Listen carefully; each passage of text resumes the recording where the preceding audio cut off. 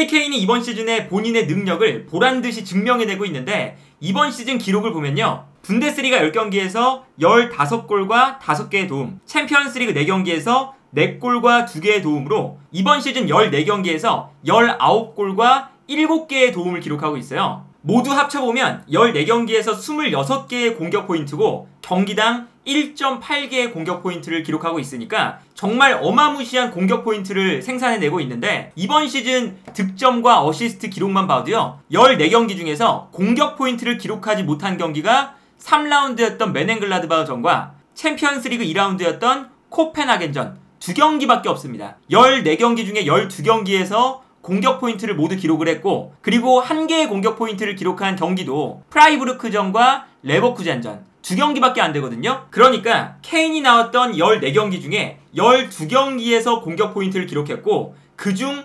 10경기에서 멀티 공격 포인트를 기록을 한 거죠. 그래서 챔피언스 리그에서는 호일룬과 모라타에 이어서 득점 2위를 달리고 있고요. 분데스리가에서는 득점 1위, 그리고 해리케인이 득점만 많이 기록하는 선수가 아니다 보니까 도움 기록을 보면 분데스리가 전체에서 두 번째로 가장 많은 도움을 기록한 선수가 해리케인입니다. 정말 해리케인이 어마무시한 영향력을 발휘해주고 있다고 할 수가 있는데 일단 바이에른 뮌헨은 투헬 감독 체제에서 해리케인의 역할 자체가 매우 중요하거든요. 특히나 투헬 감독이 인터뷰로 이야기했던 것처럼 이번 시즌 바이에른 뮌헨은 약간 수비 라인을 내리면서 상대를 본인의 진영으로 끌어당기고 끌어당긴 이후에 상대가 올라올 때 그 뒷공간을 노리고 싶어 하거든요. 그런데 이번 시즌의 바이에른 뮌헨의 경기를 보면 수비 라인에서 공격 라인으로 패스가 넘어갈 때 자네라던가 무시알라, 코망 이런 선수들이 앞선에서 볼을 받을 때 볼을 받는 순간 상대방의 압박을 풀어내지 못해서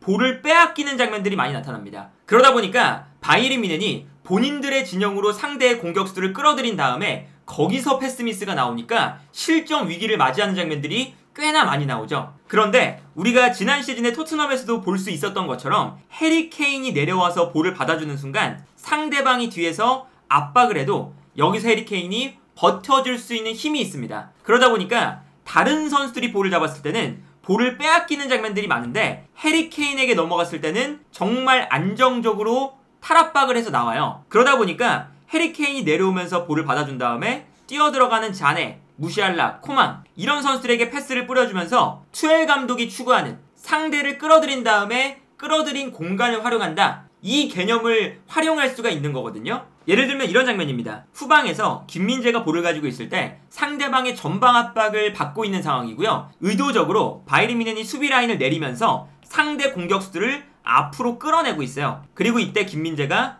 노이어에게 패스를 보내주고 노이어가 전방을 향해서 볼을 걷어내게 되죠. 근데 노이어가 복귀한 다음에 정말 좋아진 점이 노이어가 걷어낸 볼이 해리 케인에게 흘러간다는 거거든요. 그래서 정확하게 노이어의 킥이 해리 케인에게 넘어가고 해리 케인이 약간 내려오면서 상대 수비를 끌고 움직입니다. 그리고 상대 수비를 끌어낸 다음에 여기서 해리 케인이 본인의 머리에 볼을 맞추면서 뒤에 있는 선수들에게 볼을 넘겨주게 되죠. 그러다 보니까 해리케인에게 한 번의 패스를 보내준 것만으로도 해리케인이 뒷공간에 있는 선수들에게 패스를 떨어뜨려 주면서 이 장면만 해도 상대 수비가 라인을 올렸을 때 바이에른 뮌헨의 선수들이 상대 수비 숫자보다 많다는 것을 볼 수가 있습니다. 그래서 빌드업 상황에서도 해리케인의 역할은 바이에른 뮌헨 내에서 너무나도 중요하고요. 그리고 비슷한 결로 보자면 공격을 전개할 때 바이에른 뮌헨이 레반도프스키가 떠난 다음에 전방에서 포스트 플레이를 해줄 수 있는 선수가 부족했었거든요. 그래서 지난 시즌도 레반도프스키가 없을 때 바이에른 뮌헨은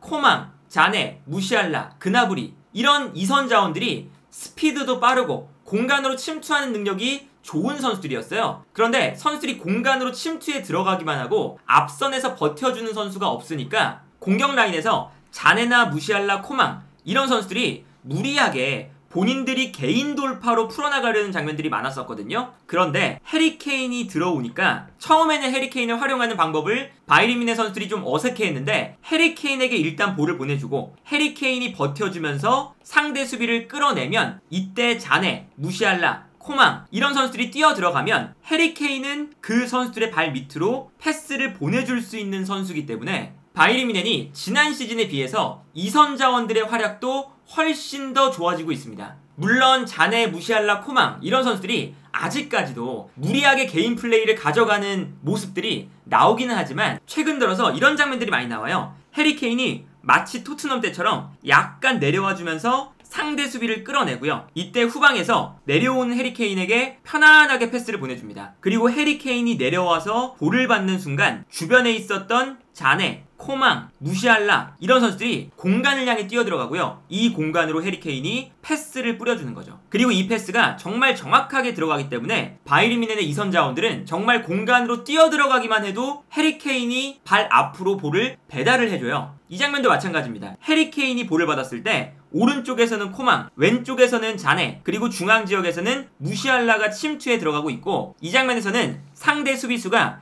순간적으로 코망을 향해 약간 치우쳐졌을 때 뛰어들어가는 무시알라에게 해리케인이 정말 좋은 스루 패스를 넣어주죠. 그래서 이 다음 장면을 보면 무시알라가 해리케인의 스루 패스를 받아서 완벽하게 상대 수비 라인을 무너뜨리고 있는 걸 볼 수가 있고 여기서 결정적인 득점 찬스를 맞이하는 모습을 볼 수가 있습니다. 이게 사실은 해리케인도 토트넘에 있을 때는 뛰어나가는 선수가 손흥민 선수밖에 없었는데 이제는 오른쪽에서는 코망, 왼쪽에서는 자네, 뭐 그나브리, 중앙에서는 무시알라 이런 선수들이 동시다발적으로 뛰어 들어가니까 더 좋은 패스를 뿌려줄 수 있는 선택지가 많아지는 거고요. 그리고 아마 해리 케인이 만들어준 찬스를 이 바이에른 뮌헨의 이선 자원들이 결정만 지어줬어도 아마 해리 케인이 분데스리가에서 득점 1위인 동시에 도움 1위일 가능성이 매우 높았거든요. 그래서 해리 케인 주변에 있는 선수들이 결정력이 부족하다는 문제점은 있지만 여전히 해리 케인은 토트넘 시절처럼 어쩌면 토트넘 시절보다 훨씬 더 찬스 making을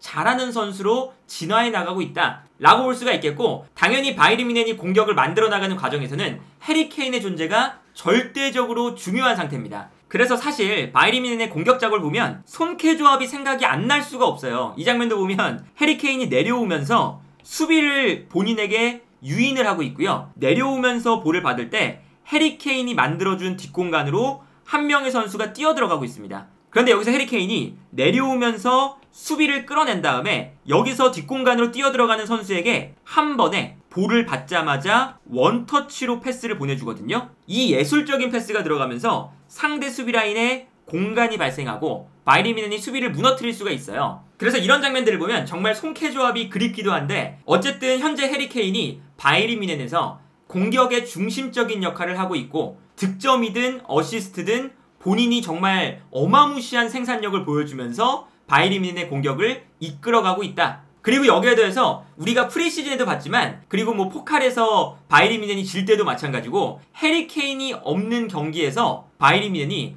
득점을 정말 못합니다. 자네, 무시알라, 코망, 그나브리, 마티스 텔, 슈퍼모팅 이런 공격수들이 결정력이 좀 부족하기 때문에 중요한 경기에서 패배를 하거나 챔피언스 리그에서 탈락하는 이런 장면들이 반복이 됐었는데 이제는 해리케인이 있기 때문에 그럴 걱정을 할 필요가 정말 전혀 없어졌고 당장 지난 새벽에 있었던 챔피언스리그 경기에서도 사실 후반 막판까지 무승부로도 끝날 수 있는 경기였는데 해리케인의 한 방 이걸로 바이리미넨이 승리를 챙긴 거거든요. 그런 걸 보면 골드 기자가 해리케인을 토트넘에서 떠나보낼 때 해리케인의 계약 기간이 1년 남아 있었기 때문에 다른 팀이 봤을 때는 이적료가 비싸다고 생각할 수도 있는데 토트넘에서 해리케인이 보여준 모습들을 보면 그 이적료는 저렴한 것이다 라고 이야기를 했던 것과 같이 이번 시즌 해리케인은 1800억의 이적료에 걸맞는 활약을 충분히 보여주고 있다. 그리고 해리케인이 이번 시즌에 뭐 분데스리가 우승 및 챔피언스 리그에서도 우승 트로피를 차지할 수 있다면 이번 시즌 세계 최고의 공격수로 발돋움할 수 있는 가능성이 열리지 않을까 싶네요.